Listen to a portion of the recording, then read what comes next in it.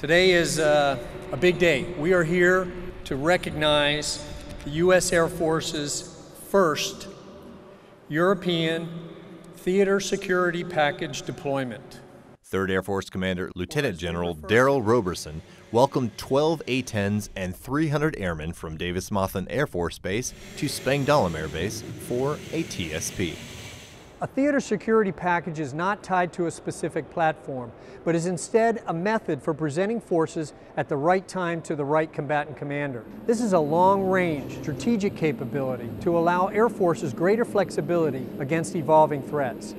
The unit will train alongside NATO allies in support of Operation Atlantic Resolve and deploy to locations in Eastern European NATO nations to further enhance interoperability.